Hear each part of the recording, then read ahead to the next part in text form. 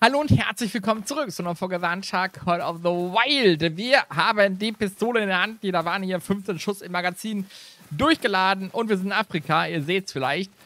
Und werden hier heute den Selbstverteidigungsmodus der Waffe ausprobieren. Denn 15 Schuss heißt, wir können 15 Mal schießen, auch wenn die Tiere vielleicht Klasse 9 haben und K-Büffel heißen und auf uns zulaufen. Das sollte hoffentlich das Vieh zum Liegen bringen. Äh, natürlich nicht zulässig, die Waffe, Klasse 6 halt maximal. Aber wir werden das heute testen hier auf dem Büffel mit der Pistole. Die Notfallsituation, wenn der Büffel hier tatsächlich Bock hat, uns zu fressen oder auf die Hörner zu nehmen, besser gesagt, dann werden wir uns natürlich hier zu verteidigen wissen.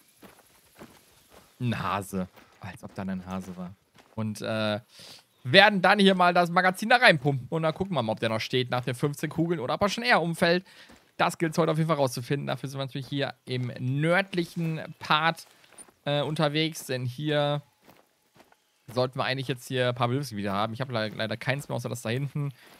Immer bei dem, bei dem Switch von der Beta auf das auf Dings manchmal, dann zerschießt ihr die Dinger, die Trinkgebiete. Oder Bildungsgebiete allgemein. Oh, guck mal hier, auch schon mit Bahnhof hier, das äh, wartende Schwein. Aber nichtsdestotrotz sollten da auf jeden Fall ein paar K5 zu finden sein, die wir jagen können.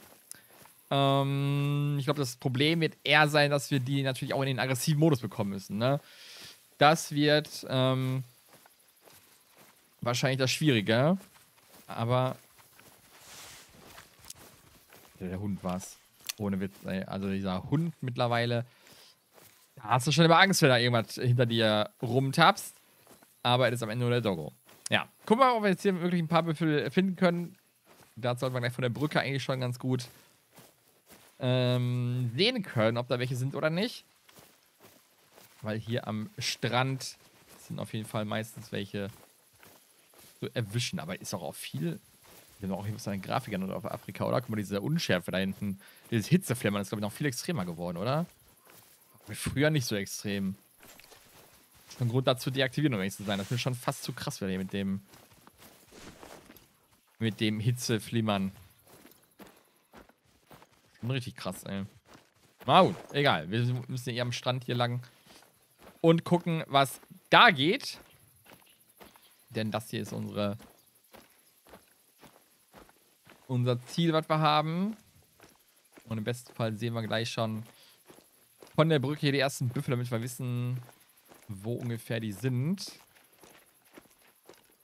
Ohne dass wir da jetzt vielleicht zu nah reinrennen, denn wir müssen uns dann natürlich dann auch wieder anpirschen und dann, ja, irgendwie nah rankommen, dass wir den Schutz eröffnen, weil ich glaube, wenn die beste Chance haben, wir wahrscheinlich, wenn wir einmal den anschießen, dass er dann aggressiv wird, als dass wir darauf warten, dass er irgendwie aus anderen Gründen aggressiv werden sollte. Denn das wird dann wahrscheinlich nichts. Aber hier ist auch gar kein Büffel. Ja, ist ja perfekt.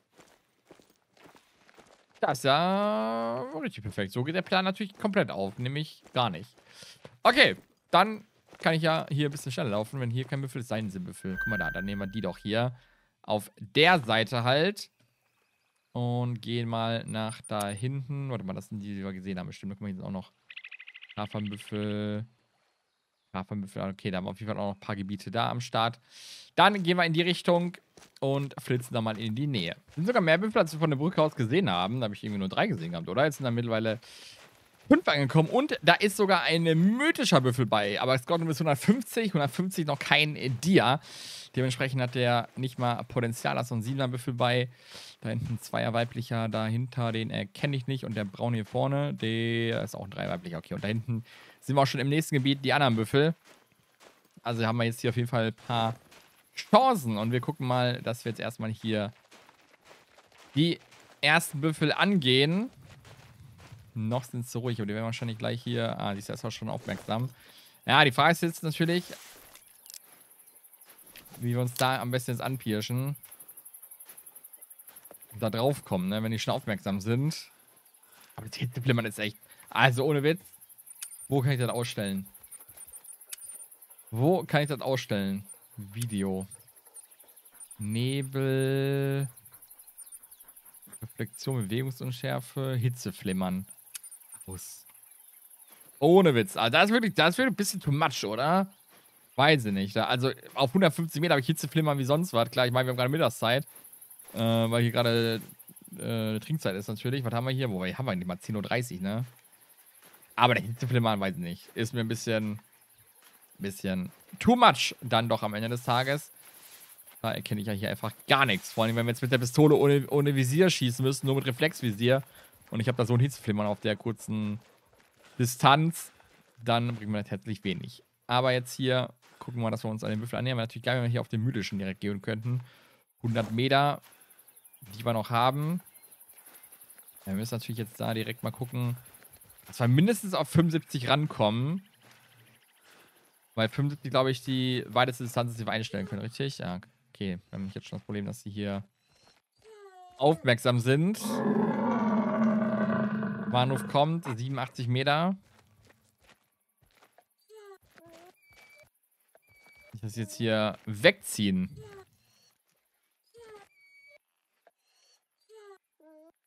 Müssen wir jetzt mal kurz warten. Der Wind steht aber ganz gut. Wir brauchen jetzt natürlich die Schussdistanz.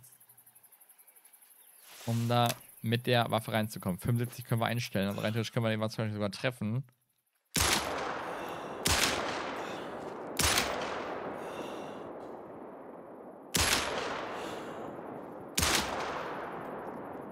Boah, wir haben ihn auf jeden Fall ein paar Mal getroffen. Aber leider wird er nicht aggressiv. Leider wird er nicht aggressiv. Ich dachte, dass wir den aggressiv kriegen. Wir haben ihn auf jeden Fall ein paar Mal erwischt mit, vermutlich, Muskeltreffern. Er ist nicht gedroppt, er ist auch noch bei 100% geblieben. Aber wir haben eigentlich jeden Schuss, den wir geschossen haben, haben wir auf jeden Fall irgendwie getroffen, ne? Ich brauche natürlich jetzt hier den aggressiven, brauche ich eigentlich. Wie kriegen wir den jetzt auf aggressiv? Dann müssen wir uns noch näher anpirschen. Versuchen wir mal den da hinten. Und der hier, wenn wir gucken, ob der verändert oder nicht. Wollen wir jetzt erstmal gar nicht hinterhergehen, großartig. Gucken wir mal eben hier die Anschlüsse an. Die wir hier gesetzt haben. Aber er hier ist doch schon gar nicht so schlecht, der Anschluss, oder? Das ist kein Lungentreffer hier. Ist doch Lunge, oder nicht? Er ist doch Lunge, würde ich behaupten. Natürlicher Treffer, tatsächlich. Ja, ist auch tot, der Büffel. Also, was, der erste Schuss war schon tatsächlich in der Lunge drin. Ähm, war gar nicht so schlecht. Aber wir bleiben jetzt dann trotzdem erstmal auf den anderen da vorne drauf. Denn die stehen ja gerade so schön parat, dass wir uns da auch noch ein bisschen annähern können. Wenn wir Glück haben, dann kommen wir da mal in den aggressiven Modus. Um die vielleicht zu erwischen oder den zu provozieren, dass der uns angreift. Das sind wir das Problem, ne? Wenn die einen angreifen sollen, dann greifen sie einen nicht an und wenn man sie nicht haben möchte, dann kommen sie und laufen den drei Kilometer näher, um dich aufzuspießen. Aber wer, man möchte das halt machen. Dann klappt das nämlich nicht immer. Aber vielleicht beim nächsten. Ich halte mich mal so ein bisschen weiter links hier, da ist ein bisschen erhöhter die Position auf der Ecke da vorne. Versuchen wir da hinzukommen. Und dann können wir über die Gräser ja hoffentlich ein bisschen hinweg sehen um da ein bisschen mehr Weitsicht zu haben auf die Büffel und hier nicht durchs Gras zu laufen, wo wir dann nichts erkennen können. Das machen wir einmal so.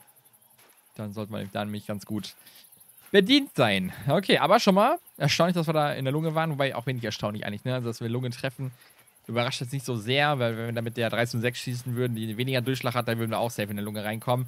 Ist zwar nicht zugelassen, aber 13 6 hätte immerhin bis Klasse 8. Hier nur Klasse 6. Aber trotzdem, der Durchschlag ist ja sogar noch stärker. Insofern nicht so verwunderlich, um ehrlich zu sein. Dass wir da zumindest in die Lunge reinkommen. So, Warnruf ist schon wieder hier da.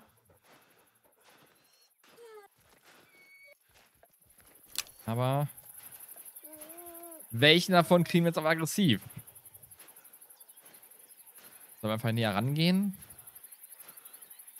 Ob das einer von allein aggressiv wird oder wie ist der Plan?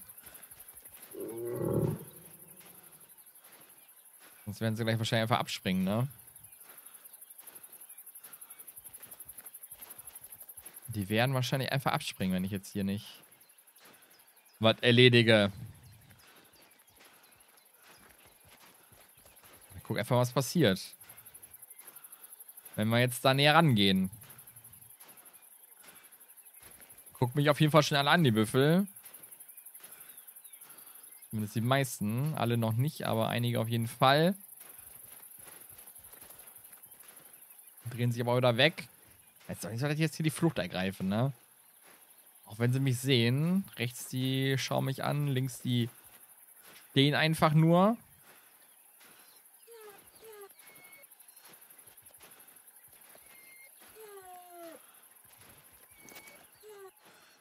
Oha, ist er aggressiv? Er ist aggressiv, ne? Er ist aggressiv hier.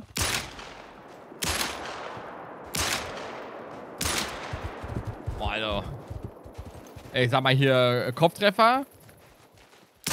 Nicht so gut. Oh. Das Gefühl, dass manche Schüsse gar nicht gewertet werden, oder? Manche Schüsse scheinen irgendwie komisch daneben zu gehen, aber er fällt gleich um, 0 bis 25 und dann ist er tot. Aber wir haben etliche Mal eine Lunge getroffen, zumindest äh, drei, vier Mal würde ich behaupten, aber manche Treffer, da zeichnet er gar nicht. Also richtig, richtig merkwürdig, aber wir haben ganzes Magazin drauf geschossen. Wir sehen hier die Treffer alle. Eieiei, okay, der ist auf durchlöchert, würde ich sagen. Er hat abbekommen tatsächlich 14 Treffer. Wir haben einmal daneben geschossen. Von den 14 Treffern hier erstmal in den Muskel hinein oben über den Kopf hin drüber, dann in den Schädel.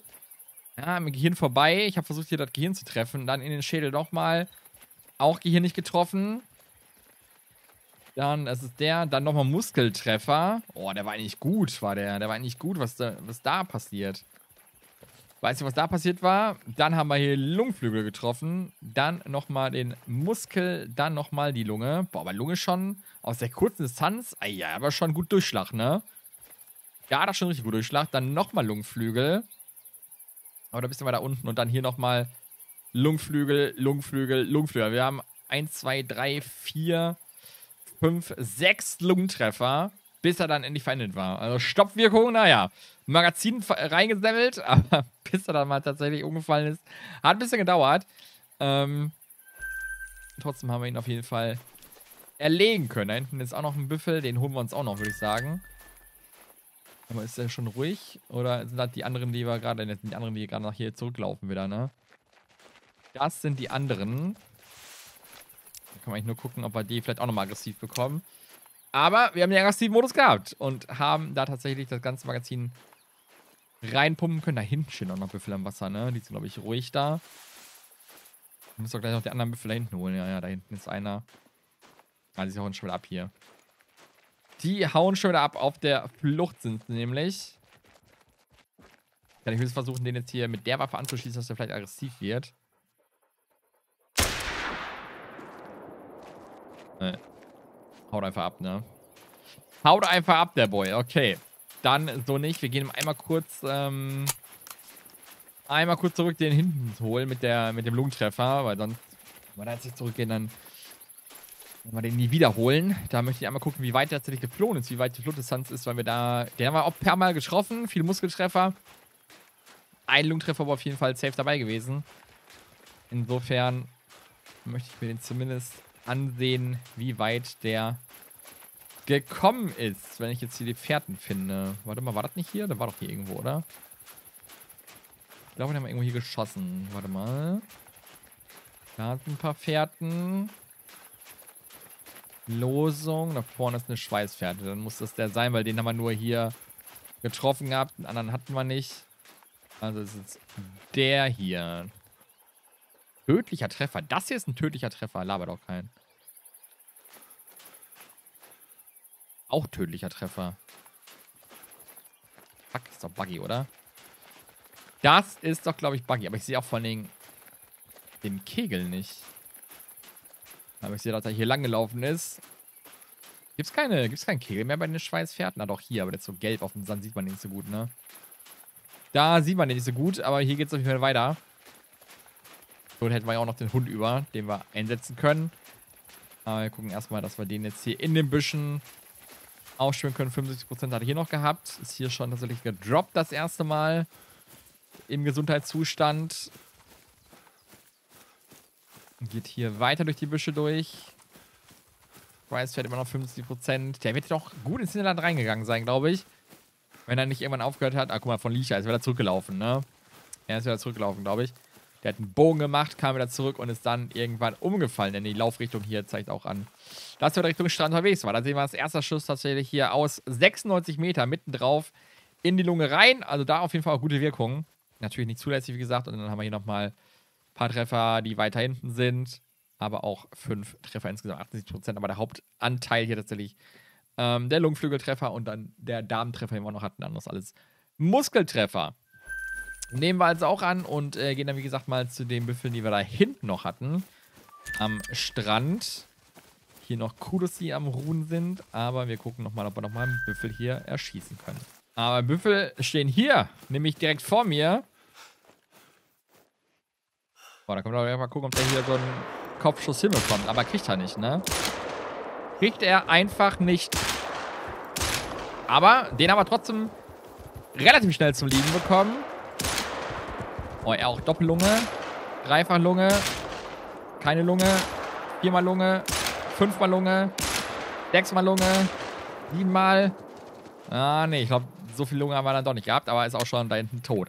Also, den haben wir auch richtig schnell. Ich glaube, dass der eine aber hier im Kopf war, weil hier der Schuss hier, der ist niemals in die Lunge durch. Der wird hier, glaube ich, ein Kopftreffer gewesen sein. Und dann sind wir hier schon Boah, gute, gute Treffer. Hier sehen wir Kiefer, Schädel, dann hier Gehirn, ja. Der eine Gehirntreffer natürlich 92%, aber selbst da erstaunlich, dass der trotz Kopftreffer, Gehirntreffer, nicht sofort umfällt, ne? Also da sehen wir hier zwar eine sehr, sehr gute Wirkung und eine sehr kurze Flugdistanz dadurch. Wir haben zwar danach auch noch zweimal Lunge getroffen, die aber eigentlich schon hier, der war schon im, im Fallen eigentlich, wo wir den noch erwischt haben. Im, äh, Im letzten Schuss.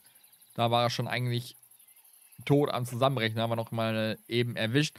Aber der Kopftreffer hier war dann der ausschlaggebende mit 92 Prozent, den wir da haben.